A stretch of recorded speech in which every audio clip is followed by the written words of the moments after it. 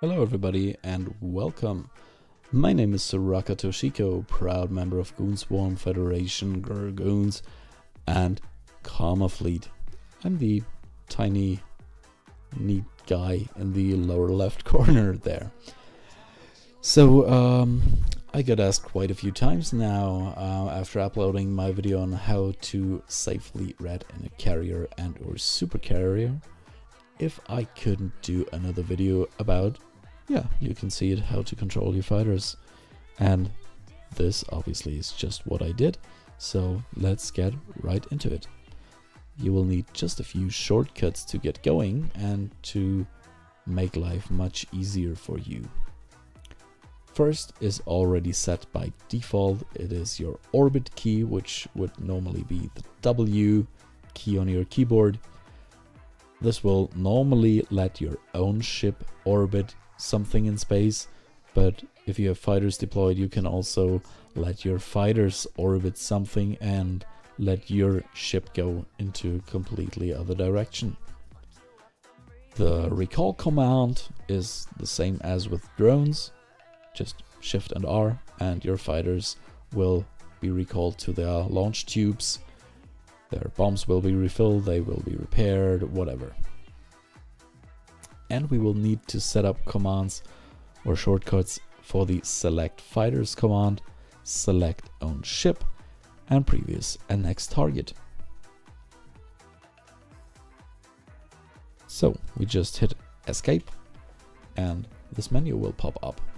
We go to shortcuts obviously and as I've already have it if I as I already have it selected English complicated.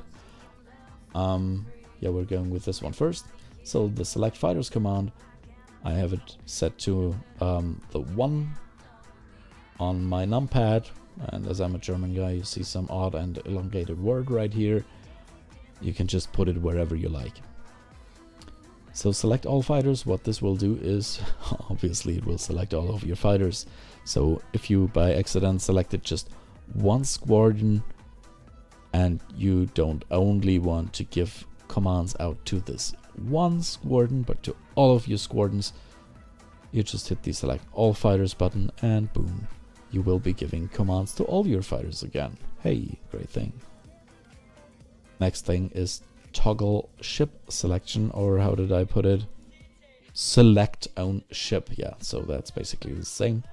Um, toggle ship selection will allow you to either select your own ship or not having it selected. And if you don't have it selected and you have your fighters out and you have your fighters all selected, you will be giving commands to your fighters instead of your own ship. So you can face your ship into one direction and your fighters going into the opposite direction. Good thing, so you can stay aligned and only give move commands to your fighters.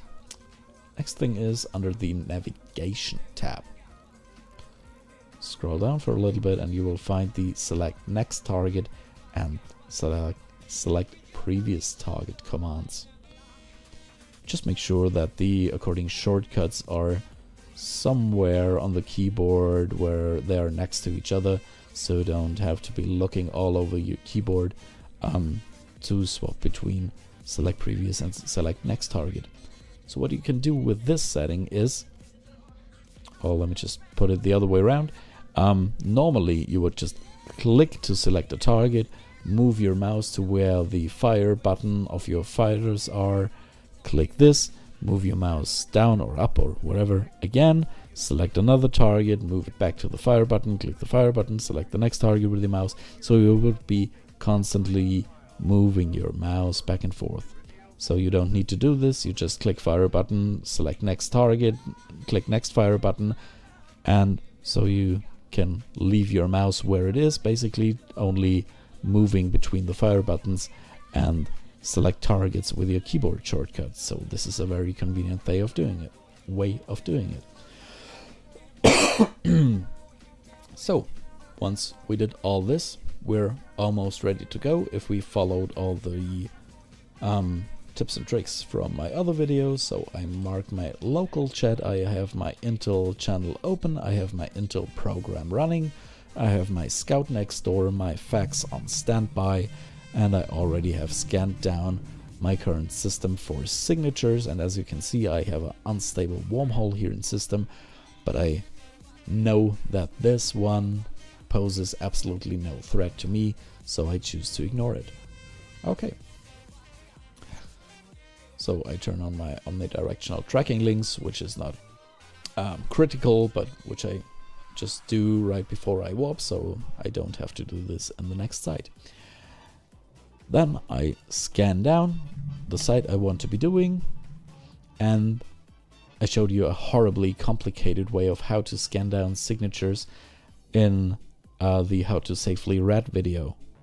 Because you can just hold down your D-scan button and then click on the signature you want to scan and you already scanned it. So you don't need to align and then look where the thin blue line is going to and then hold down C and click it and D-scan. Um, I was told by a guy watching my video and I felt very very stupid for not knowing this but it proves once again you never stop learning, neither in life nor in Eve.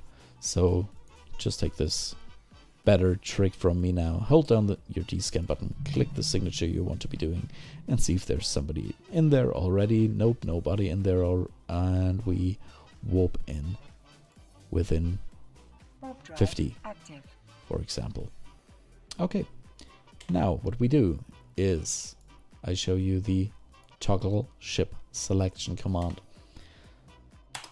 If I hit it and I see this blue circle appearing around my capacitor, this means I have my own ship selected, which will also be indicated by this small blue sphere here. If I hit it again, both will disappear. So what this does is basically nothing until I have fighters deployed. Before I have fighters deployed, it doesn't really matter if I have got my ship selected or not. Every command I give out will be given to my ship. If I have my ship not selected, but click select all fighters and you will see those blue circles appear around my fighters. I still will be giving the command to my ship because the fighters have not yet been deployed. But once they have and I have them selected, I can give commands to my fighters instead of giving it to my ship. Or giving them, meaning the commands to my ship. I'm sorry. I still have not gotten over my flu yet. So I'm coughing from time to time. I hope that's not too loud for you guys. Okay, first thing we do upon dropping out of warp is, of course, we align out. We align out immediately. So we just double click the citadel we want to be, uh, to be aligning at. And now, as my fighters have not yet undocked, I can hit the F1 button and the F2 button and I will start my networked sensor array and my micro warp drive and just target all the enemies within the wave. Then I start my fighters and let them orbit some enemy ship. How do I do this? Well, basically all my fighters have their, those blue circles around them, meaning I'm giving commands to them. My ship doesn't, so I'm not giving a move command to my ship. So I hold down the, the orbit button and click just any enemy to get my fighters going into the right direction and to cover the time my ship would normally need locking um, the enemy NPCs if I wasn't talking so much. Okay, and now I start attacking them. I just click, select next target, move over, click, select next target, move over, click. Now I select a little bit.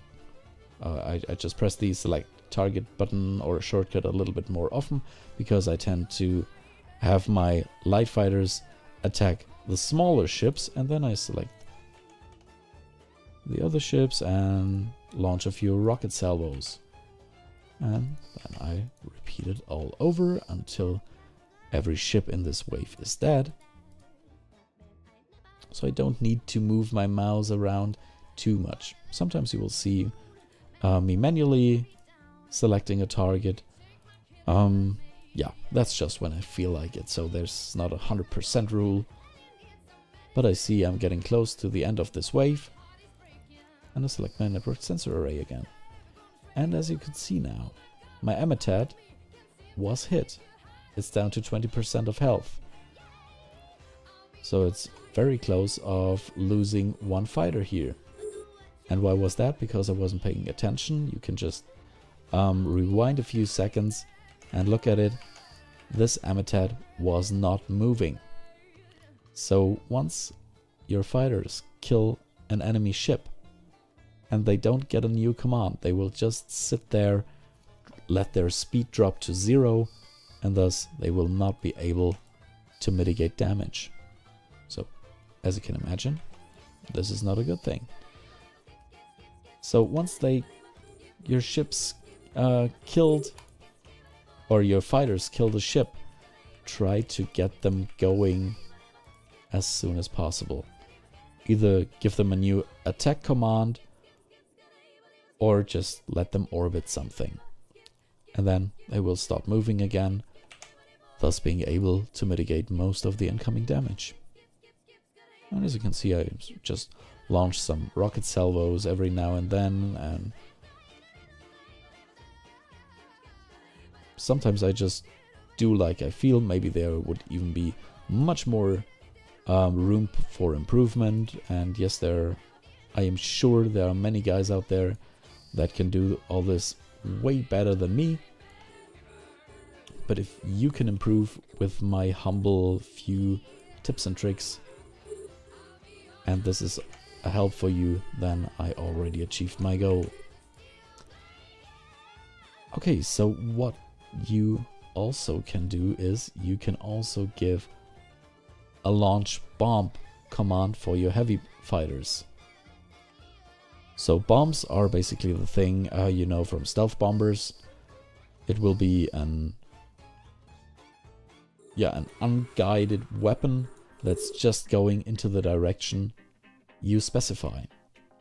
Now we'll show you how to do this. Let me just recall my light fighters because I don't want them to end up in the explosion radius of the bombing run. So you make sure your fighter... Oh, sorry. Of course, now I gave the orbit command to all my fighters again. You make want to make sure your heavy fighters are orbiting um, the enemy ships in the proper distance and then hit the F3 button. And this will give you this blue line and you can select the distance of where the other ships are. And if you have the tactical overlay, so here, here we go, tactical overlay open, this will show you those white spots on the same plane as your ship is on. This will show how far the enemy ships are away and as there's a good bunch of them here, I will select this range. As you can see that's about 75 kilometers or somewhere around this.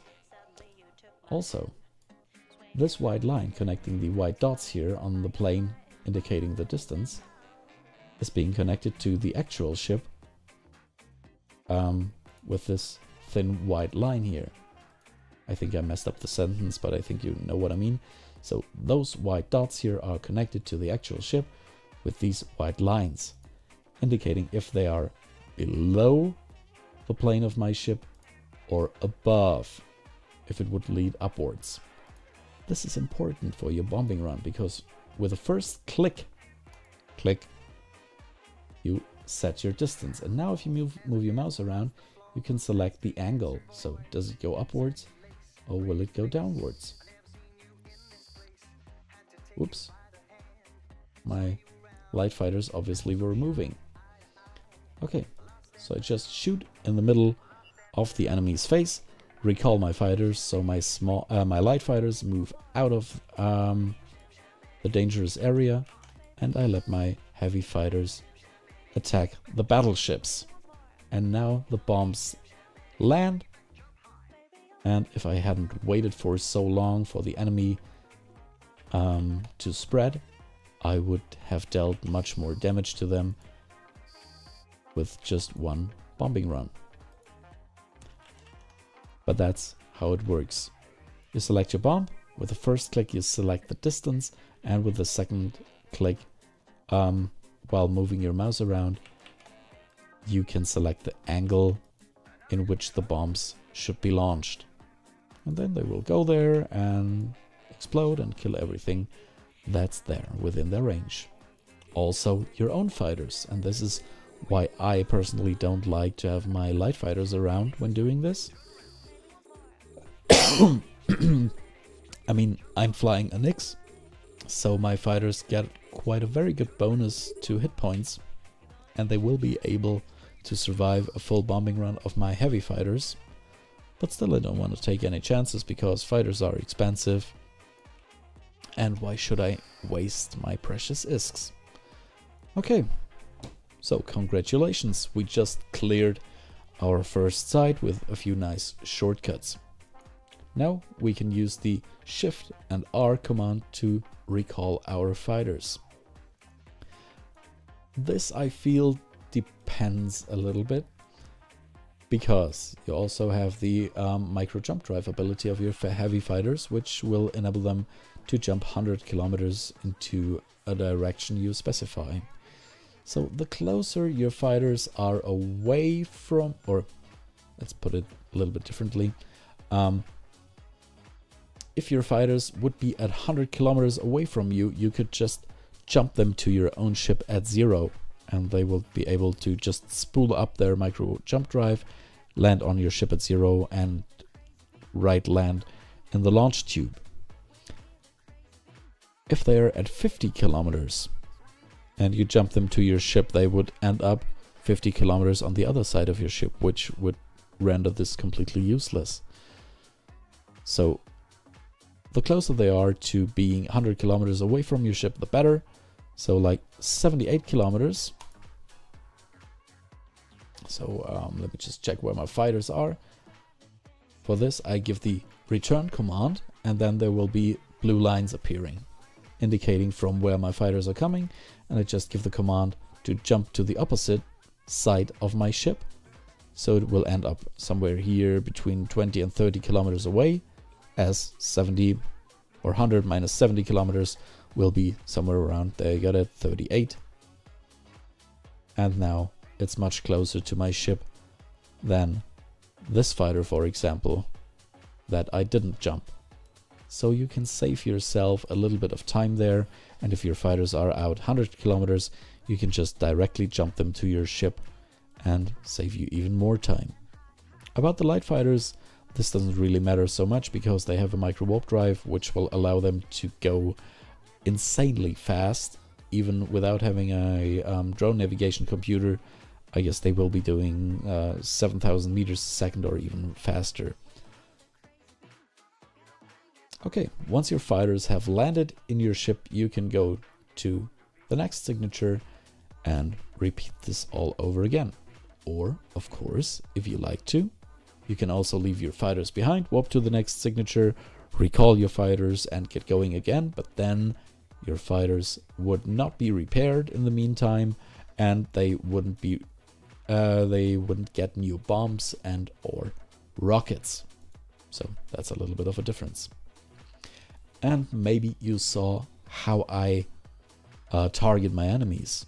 I will just use a rectangle to target them. You can do this by just holding down the control button and then with the left mouse button drawing a rectangle and everything within it will be targeted.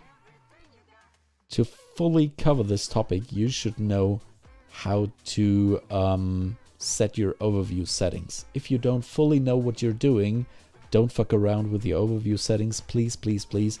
Death by overview settings is a thing. So I will just show you um, what I did. Um, yeah, very roughly. So I have my, where do we go? I have my overview settings like the PvE tab here. And for the for every tab, I can select a bracket pre preset. And you can adjust your brackets so that you get to see only certain kind of things in space. Do we have it? No, this wasn't the one. Um, where did I put it? Ah!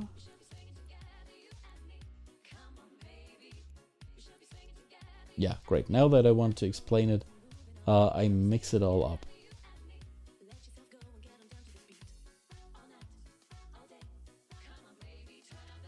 Yeah, now I know again. Okay, so you set your um, overview settings up the way that you don't see anything you don't want to target on your overview. And once you open uh, or you start targeting here in space, everything within the rectangle will be targeted. If you don't have wrecks, like here we go, wreck, I have no wrecks here. If I would select them, I would get to see them on my overview as well as in the brackets here. If I deactivate this, I don't.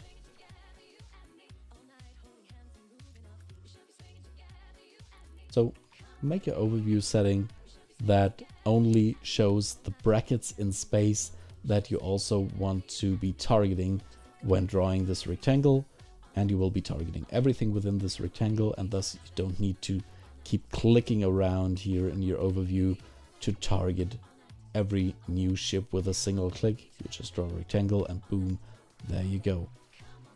I know this this was a, a little bit, yeah, this wasn't as uh, elegant as I would have liked to explain it to you, but to explain this fully, I would need to prepare a little bit, and uh, I guess the video for explaining how to set your overview properly would be another 30 minutes. So maybe I'm doing this next time, maybe not, but now at least you know how to control your fighters. So I hope this video was a little bit of help to you and I would love to see your comments below and please let me know what I could do better because I'm always trying to improve. Thanks a lot for watching. Yours, Soraka Toshiko. Oh, and PS, feel free to hit me up on the forums or on Mumble or uh, wherever you can grab me if you have any questions. If I can help you not losing your fighters and not losing your ship, I will be there for you. Alright, bye bye.